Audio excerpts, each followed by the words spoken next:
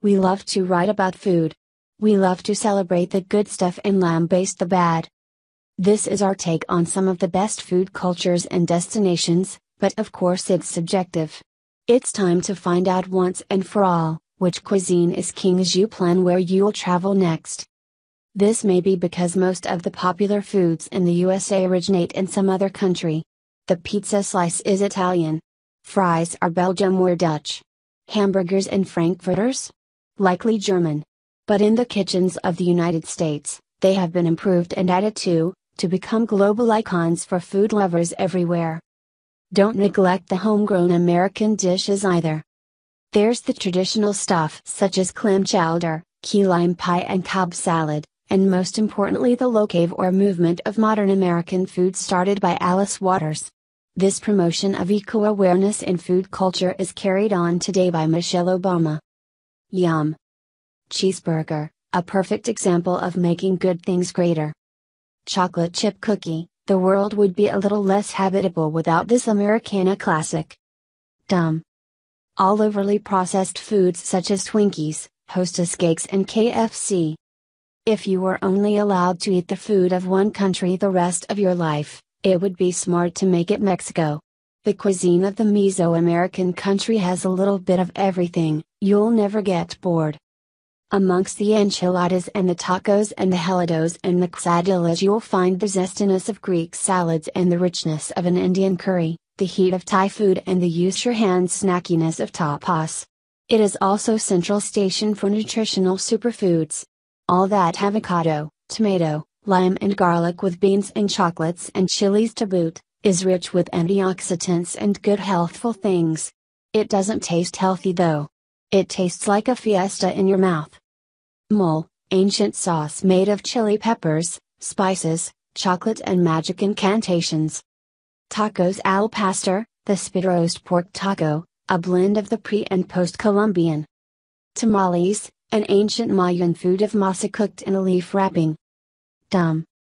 Tostadas, basically the same as a taco or a burrito but served in a crispy fried tortilla which breaks into pieces as soon as you bite into it.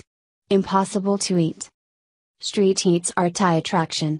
Flip through a Thai cookbook and you'll be hard pressed to find an ingredient list that doesn't run a page long. The combination of so many herbs and spices in each dish produces complex flavors that somehow come together like orchestral music.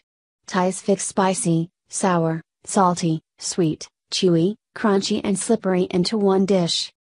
With influences from China, Malaysia, Indonesia, Myanmar and a royal culinary tradition, Thai cuisine is the best of many worlds. The best part about eating Thai food in Thailand though is the hospitality. Sun, beach, service with a smile and a plastic bag full of samtam, that's the good life. Yum. Tom Yam Kung, a rave party for the mouth. The floral notes of lemongrass, the earthy galangal, freshness of kaffir lime leaves and the heat of the chilies. Massaman curry, a Thai curry with Islamic roots. Topped our list of the world's 50 most delicious foods. Samtam, the popular green papaya salad is sour, extra spicy, sweet and salty. It's the best of Thai tastes. Dum. Pla som, a fermented fish eaten uncooked is popular in Laos, Thailand and reported to be responsible for bile duct cancer. Traveling and eating in Greece feels like a glossy magazine spread come to life, but without the photoshopping. Like the blue seas and white buildings, the Kalamata olives, feta cheese, the colorful salads and roast meats are all postcard perfect by default. The secret? Lashings of glistening olive oil. Gift of the gods, olive oil is arguably Greece's greatest export, influencing the way people around the world think about food and nutritional health. Eating in Greece is also a way of consuming history. A bite of dolma or a slurp of lentil soup gives a small taste of life in ancient Greece, when they were invented. Yum! Olive oil, drizzled on other food, or soaked up by bread, is almost as varied as wine in its flavors. Spanakopita, makes spinach palatable with its feta cheese mixture and flaky pastry cover. Gyros, late night drunk eating wouldn't be the same without the pita bread sandwich of roast meat and tzatziki. Dumb. Lahanorizo, basically cabbage and onion cooked to death then mixed with rice. Filling, but one dimensional. When a cuisine uses spices in such abundance that the meat and vegetables seem like an afterthought, you know you're dealing with cooks dedicated to flavor. There are no rules for spice usage as long as it results in something delicious. The same spice can add zest to savory and sweet dishes, or can sometimes be eaten on its own. Fennel seed is enjoyed as a breath freshening digestive aid at the end of meals. And any country that manages to make vegetarian food taste consistently great certainly deserves some kind of Nobel Prize. The regional varieties are vast. There's Goa's seafood, there's the Wazwan of Kashmir, and there's the coconutty richness of Kerala. Yum! Dal, India has managed to make boiled lentils exciting. Dosa, a pancake filled with anything from cheese to spicy vegetables, perfect for lunch or dinner. Chai, not everyone likes coffee and not everyone likes plain tea, but it's hard to resist chai. Dum. Balti chicken, an invention for the British palate, should probably have died out with colonialism. Japanese apply the same precision to their food as they do to their engineering. This is the place that spawned tyrannical sushi masters and ramen bullies who make their staff and customers tremble with the glare. You can get a lavish multi-course kaiseki meal that presents the seasons in a spread of visual and culinary poetry. Or grab a seat at a revolving sushi conveyor for a solo feast. Or pick up something random and previously unknown in your gastronomic lexicon from the refrigerated shelves of a convenience store. It's impossible to eat badly in Japan. Related content 25 Japanese foods we love, from tempura to miso. Yum! Miso soup showcases some of the fundamental flavors of Japanese food, simple and wholesome. Sushi and sashimi, who knew that raw fish on rice could become so popular? Tempura, the perfection of deep frying. Never greasy, the batter is thin and light like a crisp tissue. Dum. Fugu, is anything really that delicious that it's worth risking your life to eat? The poisonous blowfish recently killed diners in Egypt but is becoming more available in Japan. Let's eat and drink, then sleep, then work for two hours, then eat and drink. Viva España, that country whose hedonistic food culture we all secretly wish was our own.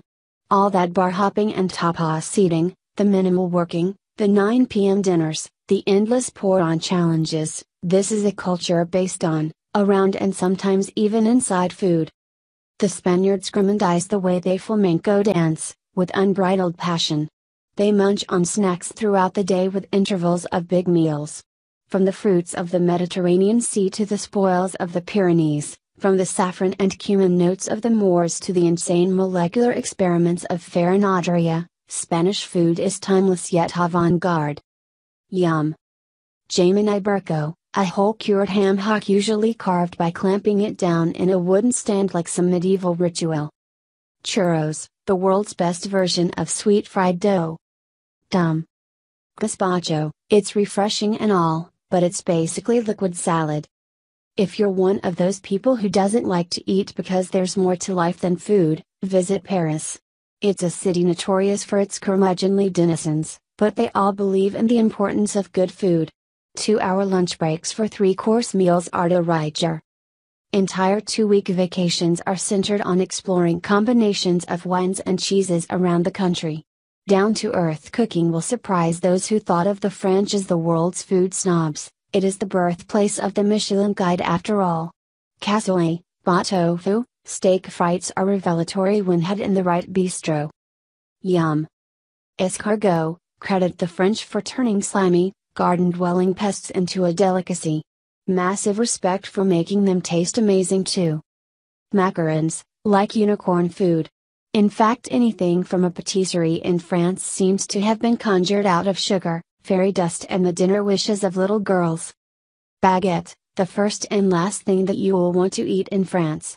The first bite is transformational, the last will be full of longing. Dumb. Foie gras, it tastes like 10,000 ducks roasted in butter then reduced to a velvet pudding, but some animal advocates decry the cruelty of force feeding fowl to fatten their livers. The people who greet each other with Have you eaten yet? are arguably the most food obsessed in the world. food has been a form of escapism for the Chinese throughout its tumultuous history. The Chinese entrepreneurial spirit and appreciation for the finer points of frugality, the folks are cheap, crafty, and food crazed, results in one of the bravest tribes of eaters in the world. But the Chinese don't just cook and sell anything, they also make it taste great. China is the place to go to get food shock a dozen times a day. You can eat that? Will become the intrepid food traveler's daily refrain. China's regional cuisines are so varied it's hard to believe they're from the same nation. It's not a food culture you can easily summarize, except to say you'll invariably want seconds. Yum. Sweet and sour pork, a guilty pleasure that has taken on different forms. Dim sum, a grand tradition from Hong Kong to New York. Roast suckling pig and Peking duck, wonders of different styles of ovens adopted by Chinese chefs. Xiaolongbao, incredible soup filled surprises. How do they get that dumpling skin to hold all that hot broth? Dumb. Shark's fin soup, rallying for Chinese restaurants to ban the dish has been a pet issue of green campaigners in recent years. Italian food has enslaved taste buds around the globe for centuries, with its zesty tomato sauces, those clever things they do with wheat flour and desserts that are basically vehicles for cream. It's all so simple. Get some noodles, get some olive oil, get some garlic, maybe a tomato or a slice of bacon. Bam, you have a party on a plate. And it is also easy to cook and eat. From the cheesy risottos to the crisp fried meats, Italian cuisine is a compendium of crowd pleasing comfort food. Many people have welcomed it into their homes, especially novice cooks. Therein lies the real genius Italian food has become every man's food. Related content Italy's 20 regions, dish by delicious dish. Yum. Ragu alla bolognese, spaghetti bolognese, the world's go to can't decide what to have food. Pizza, mind bogglingly simple yet satisfying dish. Staple diet of bachelors and college students. Italian style salami, second only to cigarettes as a source of addiction. Coffee, cappuccino is for breakfast? Forget it. We want it all day and all night. Dumb. Buffalo mozzarella, those balls of spongy, off white, subtly flavored cheeses of water buffalo milk. The flavor is so subtle you have to imagine it,